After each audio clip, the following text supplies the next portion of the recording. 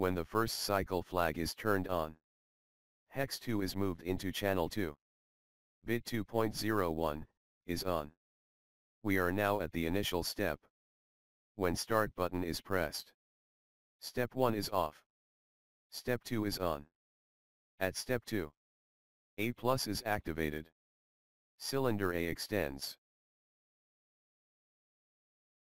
When A1 is activated. Step 2 is off. Step 3 is on, but A plus still stays. At step 3.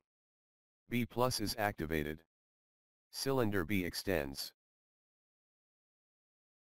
When B1 is activated. Step 3 is off. Step 4 is on, but B plus still stays. At step 4. B minus is activated. Cylinder B retracts. When B0 is activated. Step 4 is off. Step 5 is on, but B stays. At step 5. A is activated. Cylinder A retracts. When A0 is activated. Step 5 is off. Step 6 is on, hex 2 is moved into step 1.